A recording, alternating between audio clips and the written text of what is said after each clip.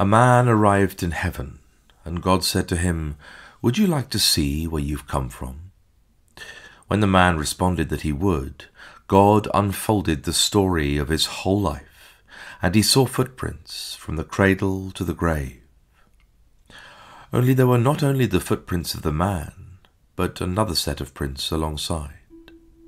The man said, I see my footprints, but whose are those?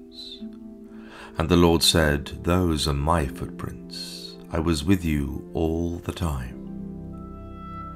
Then they came to a dark, discouraging valley, and the man said, I see only one set of footprints through that valley. I was so discouraged. You were not there with me. It was just as I thought. I was all alone. Then the Lord said, Oh, but I was there. I was with you the whole time.